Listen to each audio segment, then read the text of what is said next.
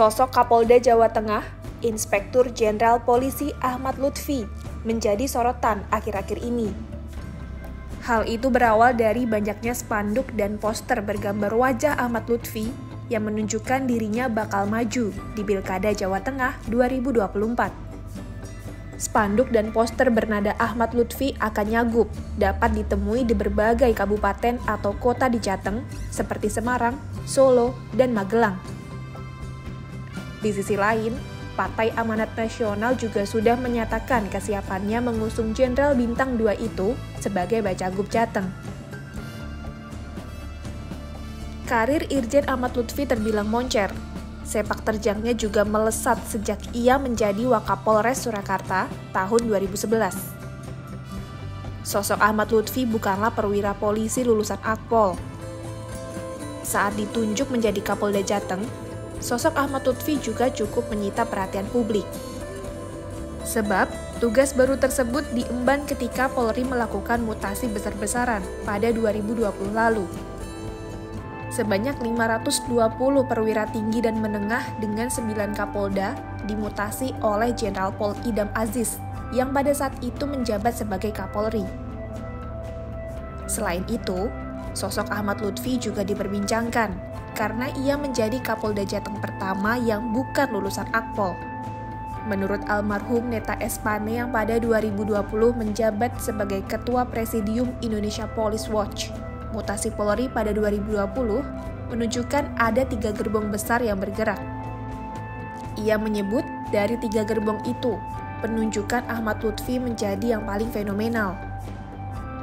Ia menilai, melesatnya karir Ahmad Lutfi bermula saat ia menjadi panitia pengamanan pernikahan putri Presiden Jokowi di Solo pada 2017.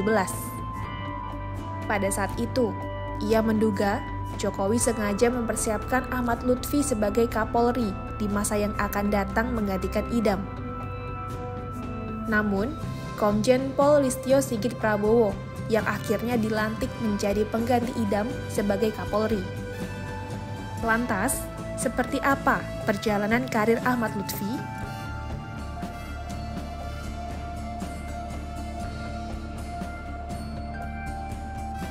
pria kelahiran 22 November 1966 ini memulai karirnya di kepolisian ketika masuk sekolah perwira militer sukarela Polri pada 1989.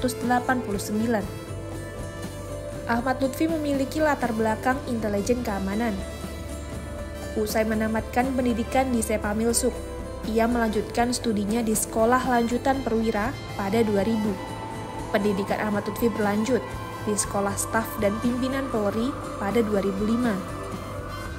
Dua tahun setelahnya, ia masuk ke Lembaga Ketahanan Nasional.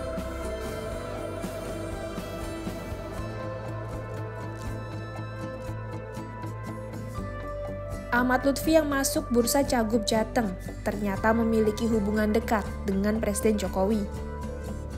Hal itu bermula ketika ia ditugaskan sebagai Wakapolres Solo pada 2011.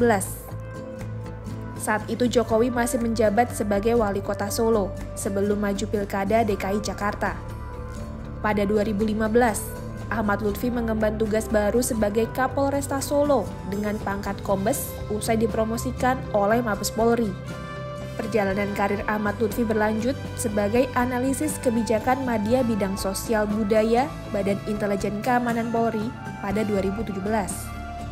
Tidak lama setelah itu, ia diangkat menjadi Wakapolda Jateng pada 2018 dengan pangkat Brigadir Jenderal. Kemudian, ia mendapatkan kenaikan pangkat menjadi Irjen sebagai Kapolda Jateng dengan dua bintang tersemat di pundak.